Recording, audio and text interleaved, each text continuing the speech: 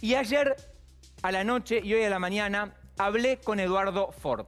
Ah. Eduardo Ford, hermano de Ricardo Ford, tío de Marta y de Felipe, que rompió el silencio.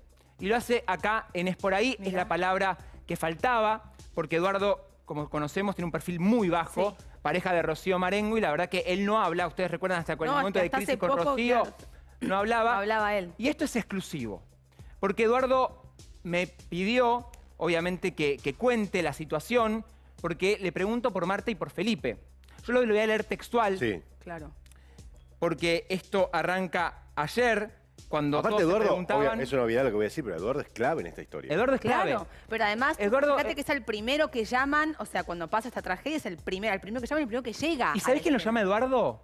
Que ayer no se conocía esto, lo llama el guardia de seguridad, el mismo que llamó el 911. 911, mirá. El guardia de seguridad llama a Eduardo y después llama a Marisa, la niñera que estaba volviendo de Córdoba. Esto se conoció ayer por la noche. Le pregunto a Eduardo cómo están, cómo están los chicos, si sabía si estaban, si- dónde estaban los chicos, si estaban con, con Marisa, con la niñera, si estaban con César Carosa.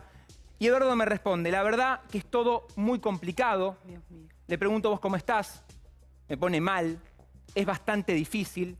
Y me confirma, me confirma que Marta y Felipe están en la casa de Eduardo Ford.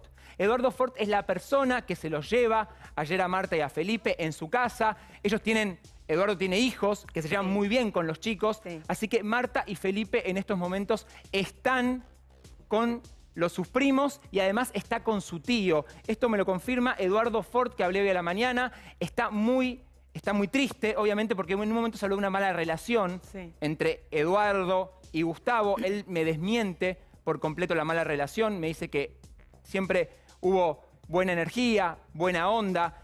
Gustavo cuidaba a los niños y él estaba muy pendiente, un tío muy presente en la vida de sus sobrinos. De